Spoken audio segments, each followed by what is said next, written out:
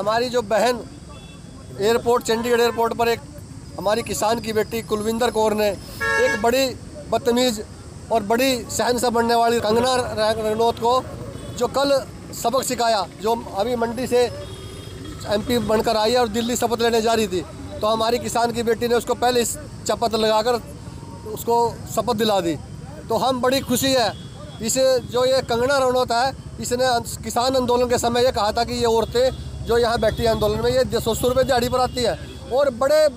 खुशी की बात है, हमारी बहन ने मौका पाकर और खुद उसकी, हमारी जो सी की जवान है, कुलविंदर कौर, उसकी खुद माता हुई, हमारे साथ धरने पर दिल्ली में रही और उसने खुद मौका पाकर कल उसको चपट मार दिया और अपनी नौकरी की नापरवाह करते हुए बहादुर बेटे को हम सलाम करते हैं। और हमारा जो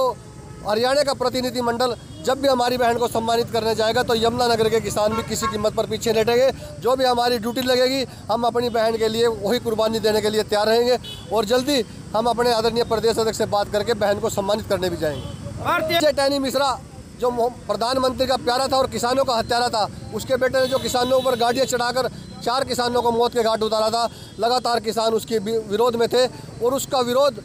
जो हम, जो चार तारीख को मतगणना हुई, किसान ने वोट की चोट से दिखा दिया। पंजाब, हरियाणा, उत्तर प्रदेश और